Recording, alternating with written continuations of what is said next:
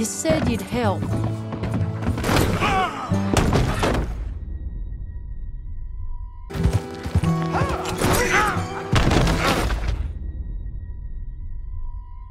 It's a disgrace, a man of his standing.